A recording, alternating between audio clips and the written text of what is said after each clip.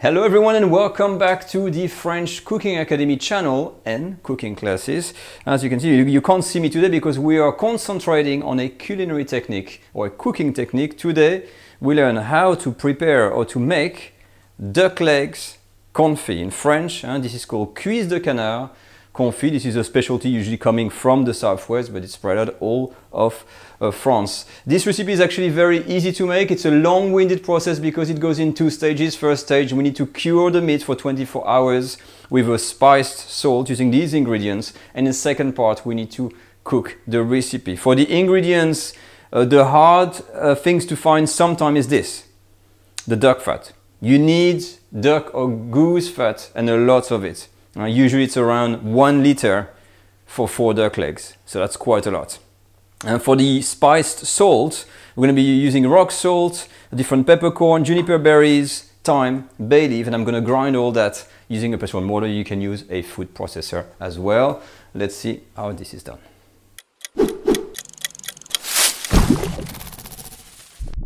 And now let's start the recipe. Now before we do anything uh, today, it is very important to stress again that before you do any preparation, you have to wash your hands in general. But today I'm stressing it again because it's super important because we're going to be using our hands and we're going to be handling raw meats that we're going to rub with a salt and then put in the fridge for 24 hours and then it's going to be used and served to guests. So you don't want to contaminate anything. So wash your hands you know, uh, really well before you start. Now we're going to start uh, by making the salt and the spice salt. There's different ways of making it. Uh, I'm using rock salt and I'm just going to grind it slowly uh, using a, uh, like this, a pestle and mortar. And I'm just going in circles like this and don't like tap like this, uh, you know, like a, like a crazy person. And the, the, usually the use of the pestle and mortar, you can tap a little bit, but it's just that circling motion. So we're going to start by circling like that. You can use a food processor if you want, but that's, you know, that's rewarding to do this by hand. Until we get a nice kind of semi-coarse salt. Okay, so what I've got here? I'm using my hand because they're nice and clean. You can see that's the kind of uh, roughness. I don't grind it all the way because there's other ingredients we're going to put in, mainly a little bit of uh, peppercorns and mix with juniper berries. And I'm just using uh, these ingredients to keep the recipe classic. Juniper berries, they are actually uh, very, very good for game. Uh, so here again, it is a matter of crushing slightly the berries and everything like that and the peppercorn. And then taking your time on doing that grinding again. So we're gonna do that again, another grind. The pepper and the juniper, uh, juniper berries are in. That's what we get. Oh, nicely colored, nicely fragrant. And now we're gonna add a little bit of thyme. There's roughly about like, you know, I would say like a teaspoon. I'm just using a dry thyme, like maybe a teaspoon of a dry thyme, not too much. And then a few bay leaves. You see I've got what, some broken ones, three or four. It doesn't really matter. So I'm breaking down like that. And then I'm gonna do again a final grind uh, using my pestle and mortar here. I don't know if that's the pestle, no, that's the mortar, I think. Don't know. But anyway, you got the idea. You grind the whole thing until it's done. All done. And this is my end result. So as you can see, there are pieces uh, of bay leaves and they're not like pulverized or anything like this, but that's okay. It's gonna go on the meat and don't get alarmed by the amount of salt, but after the curing it's discarded. Huh? So it's all good now. Let's coat the duck leg with that mix. Now the second stage, I've transferred my salt into a container, it's, it's more practical. And basically from here we're just gonna uh, make sure that there is salt and spices everywhere. So I start, you can start on either side, I'm, I'm starting with one side, a generous amount of salt. And then using our hands again, it's we're gonna massage uh, the duck.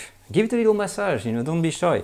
They like this, the, the, legs, nice and tender. So we're gonna incorporate the salt and make sure like this it's everywhere. Massaging the meat. Um, Japanese style, you know, like, uh, they like to do this. So you get the idea. And then we turn them around and we're gonna repeat the process. Look at this lovely duck leg. So same thing here. Boom. You don't have to, you know, if you have a bit of excess of salt, I rather have too much than too little, to be honest. And it is discarded, I'm stressing this, it is discarded afterwards. So don't think like, oh my god, it's gonna be super salty. No. You know, it's, it's like uh, certain fish that are kept in salt and things like that, you know. All right, so same thing, very quick massage. And then we're gonna put them in other container and make sure it's everywhere. So this is basically the result of a leg that's been done, cured, and you got the salt everywhere. It's nicely spiced up. Finally, when our uh, duck legs are ready, and we have to wrap them up in some uh, plastic like that. So you can use one plastic uh, over the three legs but from the books I've read, the preferred method is to really, really wrap your duck legs tightly. I didn't do a great job here. And individually wrap them to make sure there's not like much uh, contact to the air. So I'm pressing them down like that. So I'm gonna repeat the process for all the legs. And we are done. Look at this. How simple was that? So I've got my duck leg. Huh? It's totally wrapped up. Uh, and you, get, you can see all the spices in there, the meat, the salt, and that's going to give some flavor, that's going to cure the meat. And we're going to leave this in the fridge for 24 hours, ideally. Now, if you want, you can vary the spice, you can look online, there's other recipes, but the technique is you have to cure first and then cook. So we're to leave them to rest 24 hours, and then we'll continue the recipe when it's done. And now for the stage two. So 24 hours have passed, and here's the meat again, as we left it before. So what we're gonna do is unwrap it and as you can see there's a lot of moisture that come out and this is the goal also of um, of this salt huh, is to remove the excess of moisture. So what we need to do here is to really try to dry the meat as much as we can and then remove the excess of salt and herbs and stuff like that uh, from the top.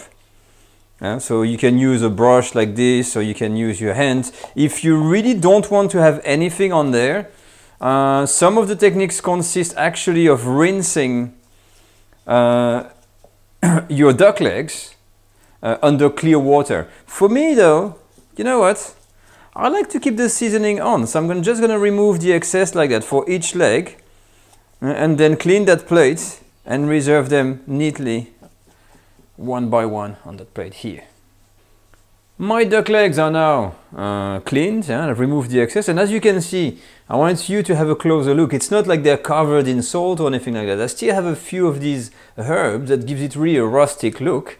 And if you look at the skin, you know, there's no salt. Huh? It's been nice and dry, nicely cured. And now we're ready to cook this. So we're gonna go on the stove and start the cooking process with the duck fat. We're now ready to cook the duck leg. So there's different techniques. Uh, some people uh, like to do this in the oven. When you begin, it is important uh, to use a thermometer because this has to be a very low temperature cooking. So in fact, uh, your duck fat usually uh, cannot boil. It must barely be simmering. So you need to have the temperature set at all times at about 200 degrees Fahrenheit, which is about 90, 95 degrees, let's say more 95 degrees Celsius. So you start with a pan, okay, I'm using the cast iron Le Creuset, and you take your uh, duck fat, and I'm gonna use about a liter, and I'm just gonna try to detach uh, some of the fat if I can from that box. And you're gonna add it slowly, melting it in the pan, and we're gonna first try to reach how sweet point like temperature before we do anything else. So we put all of the duck fat in. I'm going to be using almost a liter and then I'll show you the results. Okay, Houston, we are at 80, it's going uh, slowly towards 90 degrees. So what I'm gonna do now is to add a few aromatics in the oil. Uh, I've got three uh, garlic cloves, two bay leaves in there. So I'm just gonna you know, mix around. That's all you need to give some flavor. And then I'm gonna add my duck legs in. And we're gonna put the skin down like that. And then another one. And then put them all in. Now, for the cooking of these, what I recommend for the heat, put your heat on the lowest uh, setting you can. Okay? Because like this, you're sure you're not gonna go over because it's very easy as you can see. You, see, you can see I'm already at 90 here. So really put the heat on the lowest of the lowest temperature. And some guys say that can be cooked even at 80 degrees Celsius, which is about 180 degrees Fahrenheit. So don't take any chances to, to have that grease to boil. Always keep the temperature as low as you can. Uh, so lowest it. So my uh, duck is now in here. I'm gonna have to put some parchment paper to make sure it's nicely covered. I'm gonna have to put some weight on to make sure the duck leg stays submerged in the fat.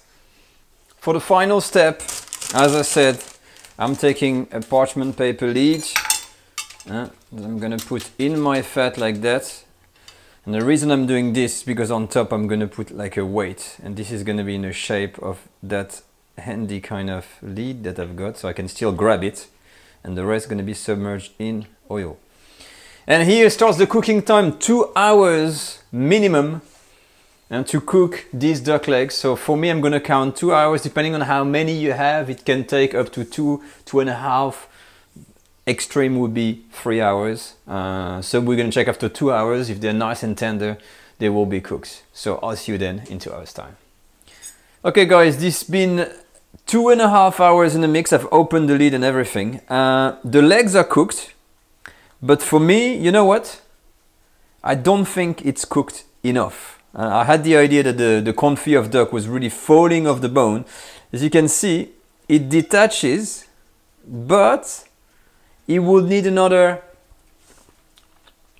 mm, yeah, I think another half hour. So you see two hours, not enough. So definitely at slow cooking like this, you're talking about three hours, two and a half and three hours. So I'm gonna wait again and take them out when they're ready. All right, so it's been three hours. The legs are ready. And as you can see on, on, on that side here, you see how it detaches and you see the bone, that's really the sign that uh, they are ready. So usually you're gonna grab the legs, you see that's how they look like. Uh, and we're gonna reserve them in an earthware. Now, just give you a little look of the, of the leg on here, that's how it looks like. Now usually uh, there's two things you can do at this stage. Or you can keep the legs and uh, keep them in the fridge or let them cool down and keep them for let's say a week before consumption, I think up to a week easily.